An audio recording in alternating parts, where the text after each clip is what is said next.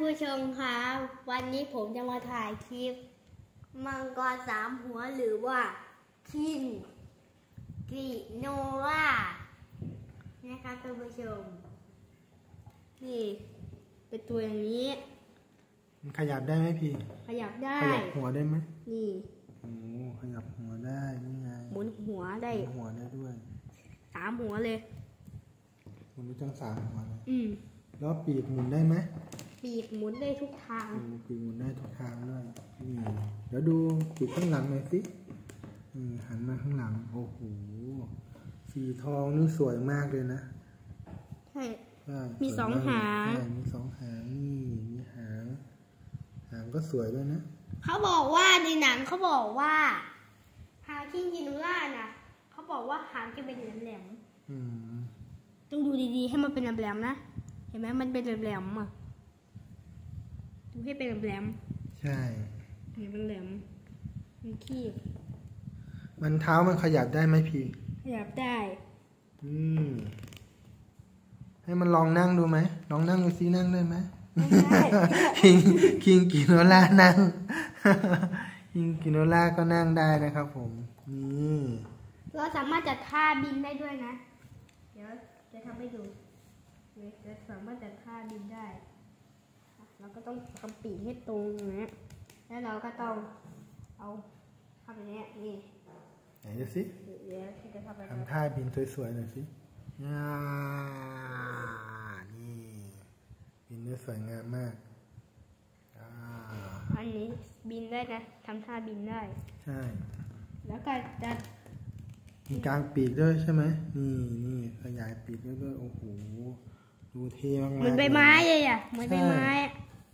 อะปีกกว้างมากเลย สีทองสวยงามมากมากรู้ไหมว่า มีรายละเอียดนะคอเนี่ยใต้คอมีรายละเอียดนะใช่สามหัวเลย แล้วก็จะมีตรงปากนี้แดงเลยนะพี่ ปากแดงเลข้างยในปากเนี่ยมันเป็นมีลิ้นด้วย เก็บรายละเอียดดีมาก มีลิ้นด้วย ใช่ มีตาด้วยนะ ตาก็ชัดเจนเหมือนกันนะอะดูใช่ตาชัดๆหน่อยสินี่ไงนี่ตาก็ชัดเหมือนกัน แต่ว่าสังเกตดี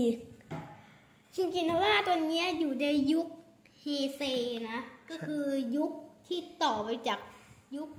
โชวะก็คือยุคโชวะคือยุคเก่า ยุคเอ่ออันนี้เป็นทียุคเฮเซนะ ยุคเฮเซเนี่ยเขาจะเรียกว่าเปลี่ยนแปลงใหม่เหรอใช่ นี่เห็นไหม มันจะมีเขา ที่เหมือนปีศาจเห็นไหมมีกี่เขา มีสี่เขาแบบปีศาจอื้อหือเท่มากๆเลย แต่สังเกตดีๆสองหัวนี้ใช่ไหมที่อ้าปากเนี่ย จะอืมจะห่างกันนะ แต่ว่าหัวเนี้ยติดกันอืมเพราะว่าเป็นเป็นหัวผู้คุมไงหัวผู้คุมตรงกลางอะหัวเป็นคุผู้มสั่งการใช่ไหมใช่สั่งการสองหัวนี้ ให้ทำตามคำสั่ง เก็บรายละเอียดดีนะดู เห็นไหมเก็บดีมาก เก็บแบบมังกร ครับ เป็นลายลายๆข้างล่างข้างล่างเขาก็จะเขียนว่า เออดูสิมันเป็นมันเหมือนชื่อร้านเขานั่นเลยเป็นยี่ห้อ ใช่ ผลิตมาจาก เอออะไร ผลิตมาจาก ก็เป็นพลาสติกนี่แหละ เป็นพลาสติก แต่ก็ก็ผลิตมาจากจีน อ๋อ มันก็มาจากจีนไงซื้อมาจากจีน ใช่ อันนี้ป่าก็สั่งมาให้พีจากลาซาด้านะเนี่ยอืมเออก็ถ้าเพื่อนๆ คนไหนสนใจก็สามารถไปดูได้นะครับ ที่ Lazada หรือว่าที่ s h อ p e e ก็ได้นะครับ นี่ไง ก็จะมีขายเหมือนกันเก็บนะครารัยบละเอียดนี่ มีเป็นหนามตรงคอ เป็นมังกร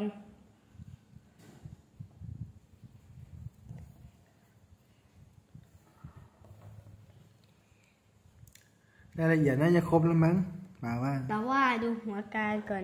เดี๋ยวผมจะแบ่งหัวนี้ออกไปก่อนนี่หัวกลาง หัวกลางดูฟหัวกลางมันจะเป็นแบบว่าไม่ได้ไม่ได้อ้าปากแต่ว่ามันจะยิงฟันใช่ยิงฟันเลยนะอันนี้อาปาก ใช่ แต่ว่า มันสามารถจัดท่าอีกท่าหนึ่งได้นะมันเป็นท่าที่ตลกมาก ไหนท่าไหนดูสิหมุนหัวอย่างเงี้ยอะให้หมุนหัวก่อน แล้วก็กลับตัวมันอย่างเงี้ยอันนี้ป่าว่าพี่น่าจะแกล้งมันแล้วแหละ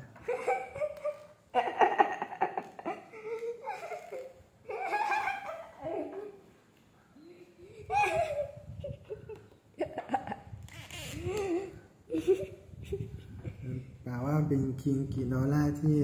น่าสงสารมากกว่า ก็ดูสิ มันบิดตัวอย่างเงี้ย แปลกไหม แปลกเยอะ บิดตัวได้แปลกมาก ดูหางก็กลับด้านได้ถูกด้วยใช่ปีกก็ดูอย่างนี้เหมือนหลังคาบ้านเลยเหมือนหลังคาบ้านป่าว่าปรับกลับไปแบบเดิมดีกว่า น่าจะดูดีกว่านะป่าว่า แต่ว่าพี่สามารถทำท่าอีกท่าหนึงได้นะ เป็นท่าที่ที่เอาจากหนังเลย ก็คือท่าเดิน เดี๋ยวเราให้ดูท่าเดิน อะนี่ท่าเดินนี่ท่าเดินนี่เป็นอย่างนี้ท่าเดินเห็นไหม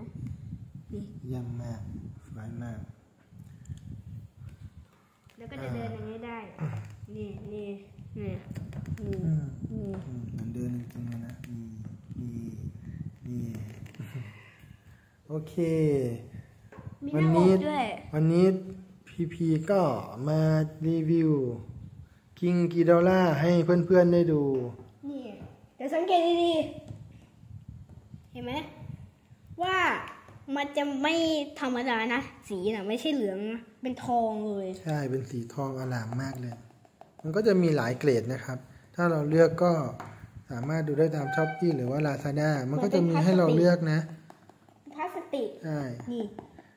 แต่ว่าที่ได้มานี่อันนี้ก็เลือกมาแบบเกรดเกรด A เลยแหละตัวเนี้ยใช่นี่ปีกมีรายละเอียดนี่จะเป็นรายละแผลเอียดก็ดูสมเหตุสมผลครับอะไรก็มีความสวยงามตามภาพเลย แต่ว่าเราสามารถทำท่านี้ได้นะนี่ครูปีอย่างเนี้ยอืมนี่หกปีกด้วยด้วยนี่นี่ก็เท่มากเลยนะมาถ่ายด้านข้างที่ มาถ่ายด้านข้างที่โอ้โห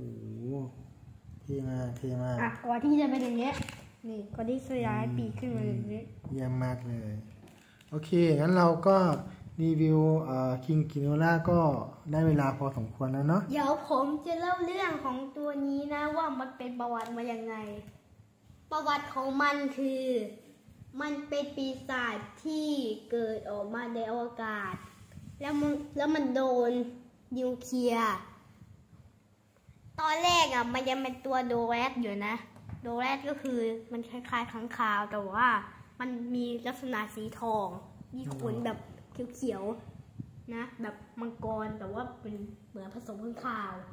นะ แล้วมันอยู่ในเกาะใช่ไหม แล้วมันโดนนิวเคลียร์ระเบิด ใส่นะ แล้วก็มันก็มากับ